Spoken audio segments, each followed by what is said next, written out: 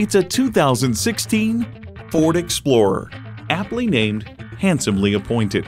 When people talk about the beautiful scenery, they'll be talking about this Explorer too. And it comes with all the amenities you need.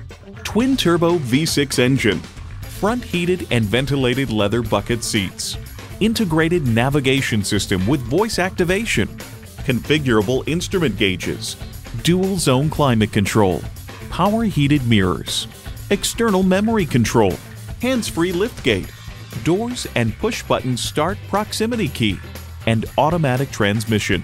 Built on tradition, built to last. Ford. Driving is believing. Test drive it today.